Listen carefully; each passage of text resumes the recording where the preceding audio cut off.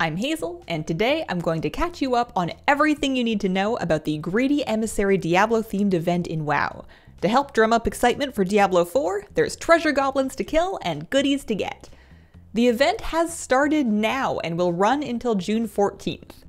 The basic gist is every 30 minutes, a treasure goblin will spawn in a specific zone.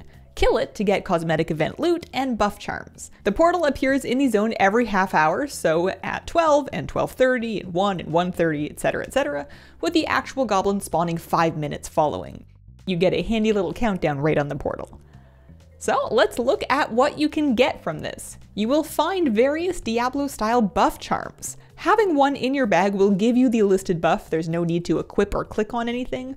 These are now being disabled in instances according to this blue post, so there's no need to farm them all for your raid night, but if you have any in your bags, you're going to be a little bit stronger in outdoor activities. There is a familiar mount to be had from this event, and it's this one, Tyrael's Charger. This is the same Tyrael's Charger from the old annual pass promotion, and it was later offered in the shop. You can now get this for free from this event if you did not already have it. We also have a 36 slot bag available called the Horadric Haversack. This is unique equipped, so your character can only use one. Now, about those first two things. According to a blue post, Tyrael's Charger and the Haversack have a higher chance to drop on the first kill per day per account. All other items have the same drop rate for each kill. You can definitely receive things from treasure goblins in a day after your first, so if you're coming up empty, it's just bad luck. But if you're farming specifically for the charger or the haversack, you're going to have a better chance on your first kill of the day.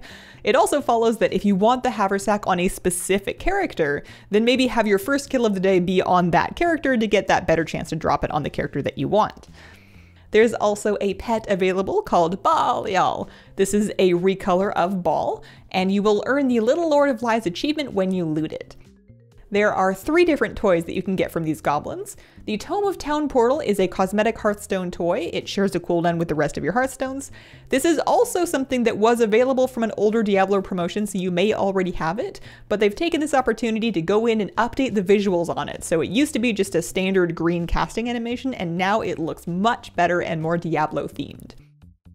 Another toy that you can get from this is the 12 string guitar. It's on a little bit of a long cooldown, but for any musical themed characters, that's a must have. And the Nightmare Banner is something you may see being put down around these treasure goblins because that's also something you can get here.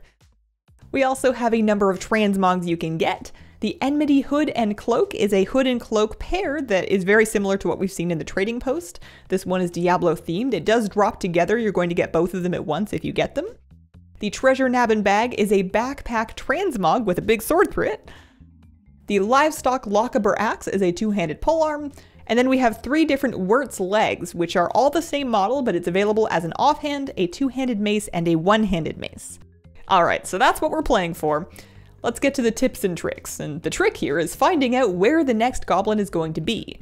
Now, it appears to follow a fixed schedule, which means that that can be solved by a WeakAura, or a spreadsheet. It was a bit wonky when the event first launched, but it does seem to have settled down. So if you want to predict where the next goblin is going to be, we have a community Google Doc with both North American and EU times. If you like the notebook approach, you can check.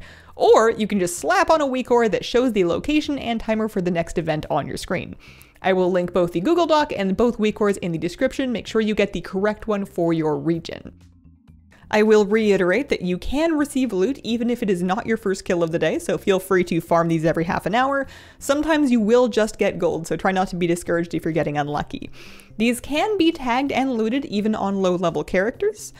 Another tip is if you're having a tough time targeting it, you can make a macro that is quite simply slash tar treasure goblin. And then I have been using my interact key to help me loot the goblin underneath the big pile of people. Uh, if you want to use that, you can enable that in your settings and then assign it to any key that you like. You can also step into these treasure piles here for a haste and movement speed buff if you feel like you really want to try to parse on the goblin. The experience bonus that you may have heard about is not currently active. That part of the event is going to be later after this part ends. So we have the treasure goblins until June 14th, and then the 50% experience and rep buff, which will not include the Niffen, will start after that, June 15th, and should run until July the 11th or so. And that's the Greedy Emissary event. Altogether, I've been finding it very fun. It feels more like a pre-patch event than the actual Dragonflight pre-patch event did, in my opinion. Thanks for watching, good luck on your loot, and have a wonderful, wonderful day. Bye.